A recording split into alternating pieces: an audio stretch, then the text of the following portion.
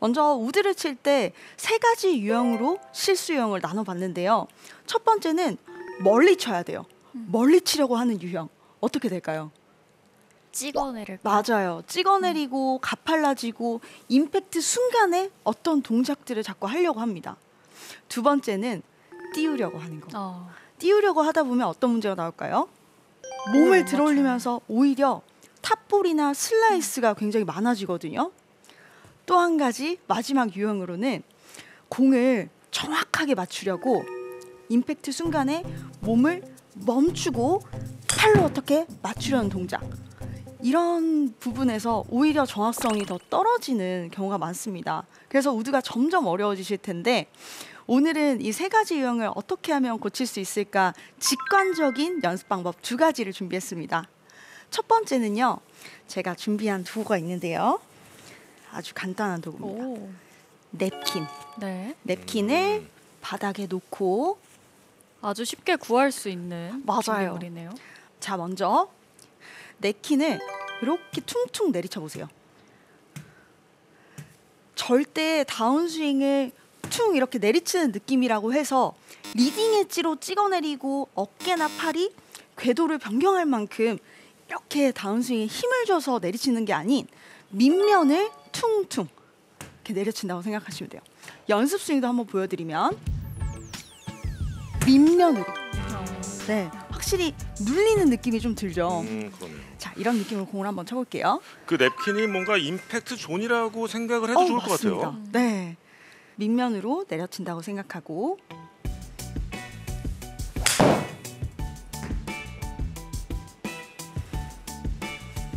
네, 이렇게 간단하게 직관적으로 냅킨을 이용한 클럽을 잘 떨어뜨리는 방법 알려드렸습니다. 쉽게 구할 수 있는 냅킨이라 따라해 보시기 쉬울 것 같아요. 두 번째는 우드를 칠 때뿐만 아니라 아이언샷을 할 때 또 정확성을 요하는 샷에서 어떤 근육을 쓰면 좋을까 이렇게 어, 생각을 해봤는데 네. 저는 광배근을 씁니다. 그래서 광배근. 두 번째 연습 방법은 광배근을 이용한 다운스윙의 회전을 만들어 보는 시간을 가져볼 거예요. 음. 자, 먼저 제가 한번 시범을 보여드리면 팔꿈치에 클럽을 꽂은 상태에서 백스윙 그리고 임팩트에 멈춰 볼게요. 자, 더 어. 빠르게. 보통 스피드를 더 빨리 내려고 하다가 임팩트의 타이밍을 잃거나 몸을 들어 올리거나 또 어깨를 쓰거나 이렇게 스피드가 잘못되는 경우가 있는데 지금은 몸의 이 옆면 광배근을 사용해서 다운스윙을 내리는 방법을 알려드리는 거예요. 자, 만약 시청자 여러분들은 좀 클럽이 없을 수도 있잖아요. 네. 그래서 쉽게 따라할 수 있는 방법을 알려드리면 똑같은 느낌입니다. 전완근을 옆구리에 반 정도 붙여주세요. 네. 네, 이 상태에서 백스윙으로 갔다가 다운스윙을 회전. 오른쪽 어깨가 턱 아래로 올 때까지 머리는 고정하고 회전해 줍니다. 좀 빠른 스피드로 하는 게 좋을까요? 어, 빠른 스피드로 해야만 이 등의 타이트함을 느낄 수가 있거든요. 아이언샷뿐만 아니라 우드샷, 드라이버, 어프로치에서도 이 근육을 사용한다면 어깨와 손의 개입을 좀 줄이고 몸통 회전을 훨씬 더 수월하게 할 수가 있어요. 자, 제가 광배근의 느낌으로 연습 스윙을 한번 보여드릴게요.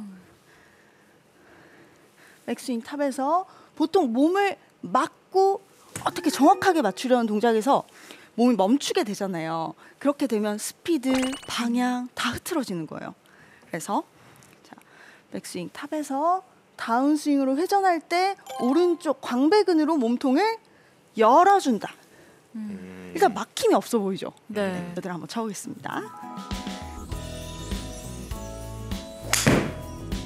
오, good shot. 이 연습 방법이 이렇게 몸이 들리는 골퍼들한테도 좋을 것 같아요. 네. 맞아요. 네. 보통 이 아마추어 골퍼들이 불안한 클럽을 칠 때 계속 안 맞다가 한 번 잘 맞을 때는 맞아요. 에라 모르겠다 할 때 잘 맞잖아요. 맞아요. 근데 그렇게 몸 움직임을 만들어 놓으면 항상 좀 일정하게 잘 칠 수 있을 것 와, 같아요. 그럼요. 연 아나운서가 한번 해보면 어떨까요? 어, 네. 네. 먼저 첫 번째 연습 방법 네킨을 내려치는 연습 방법 네. 그리고 옆구리도 한번 느껴보시면 좋을 것 같아요. 퉁퉁 자, 내려치는 느낌으로. 네, 냅킨을 네. 먼저 몇 번 통통 내리쳐 보세요. 네. 통통 내리쳐서 네, 밑면이 다 느껴지나요? 네. 좋습니다. 밑면 전체가 떨어지게끔 연습 스윙 한번 해볼까요? 날아가도 괜찮아요? 자, leading edge가 아닌 밑면. 오, 오. 너무 잘하셨어요. 네. 다시 한번 퉁퉁 내려쳐보고. 네. 지금 우리 공자자님 굉장히 당황하신 것 같은데요. 예언 아나운서가 평소에 저는 몸이 들리면서, 들리면서. 공이 안 때려지는. 네, 공 위를 치거나 공 위로 지나가는 맞아요. 형태. 근데 지금 이 예언 아나운서가 보여주는 이 동작이 아마추어 골퍼들이 절대 따라하면 안 되는 동작. 어깨는 굉장히 경직돼 있는데 손목만 이렇게 하는 거는 안 되는 거잖아요. 아, 네, 맞아요, 맞아요. 손에 조금 이렇게 낮춰준다는 느낌. 네. 네, 어깨나 손에 경직이 있으면 안 됩니다. 퉁퉁 낮춘다. 어우, 훨씬 더, 좋- 더 좋네요. 네, 퉁퉁 내려친다. 네. 네, 몇 번 통통 내려쳐 보고 네. 그리고 이 느낌을 연습 스윙으로 네, 맞아요. 어깨에 힘을 좀 더 뺀 상태에서 네. 퉁. 오! 음. 이렇게 되면 오. 탑볼을 칠 수가 없습니다. 퉁. 오. 오, 쓸리는 소리가 제가 안 나는데 네. 쓸리는 소리가 나네요. 나본 적이 없다고 와, 말씀하셨잖아요. 나본 적이 없어요. 우드는 특히 잡으면은 계속 헛스윙 하듯이 이렇게 위쪽으로 네. 이동이 됐었는데 바닥이 잘하셨습니다. 느껴집니다. 너무 쉽게 네. 이렇게 밑면을 내리친다고 했을 때 떨어뜨리는 느낌을 확실하게 느낄 수가 있는데 보통은 헤드를 떨어뜨려야 된다, 임팩트를 좀 더 퉁퉁 내리쳐야 된다 했을 때 이런 형태로 음, 이렇게 보이시죠? 네. leading edge가 공을 향해서 내려치려고 하거든요. 그런데 이 밑면 전체를 쓰게 되면 확실히 좀 완만한 원을 안정적으로 그릴 수가 있습니다. 네, 이 느낌으로 한번 쳐보겠습니다. 오, 오, good shot. good shot. 와. 사실 이 레슨 준비하면서 저도 우드샷이 좀 는 것 같아요. 어. 네, 이렇게 두 가지 연습 방법, 아주 직관적이고 쉬운 연습 방법 두 가지 알려드렸는데요. 이 점 잘 연습하셔서 필드에서 우드를 멋지게 치고 또 사람들이 부러워할 만한 우드샷 하시길 바랍니다. 어렵기만 한 우드 이제부터 쉬워질 수 있습니다. 공을 leading edge가 아닌 클럽 헤드 밑면 전체로 퉁퉁 내려치고요. 다운스윙 시 손이나 팔이 아닌 광배근을 이용해 주세요.